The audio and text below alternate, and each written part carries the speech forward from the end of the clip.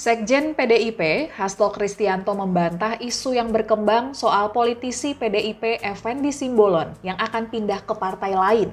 Hasto menegaskan bahwa kabar Effendi akan pindah partai tidak benar. Hal itu disampaikan Hasto usai mendengar klarifikasi langsung dari Effendi di kantor DPP PDIP Jakarta pada Senin 10 Juli 2023.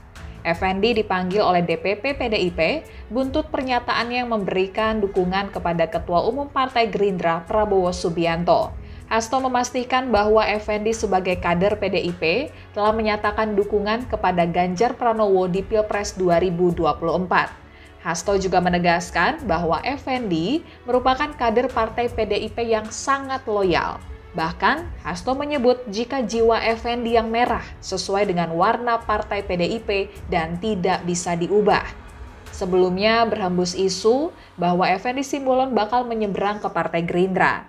Isu itu muncul buntut dari pernyataan Effendi yang memberikan dukungan kepada Prabowo dalam acara Rakernas Punguan Simbolon Dohot Boruna Indonesia atau PSBI beberapa waktu lalu. Saat itu Effendi menyebut sosok Prabowo sebagai tokoh yang mampu menakodai Republik Indonesia ke depannya.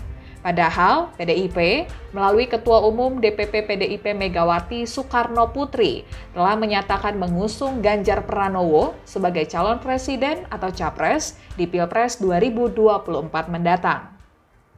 Terima kasih sudah nonton. Jangan lupa like, subscribe, dan share ya.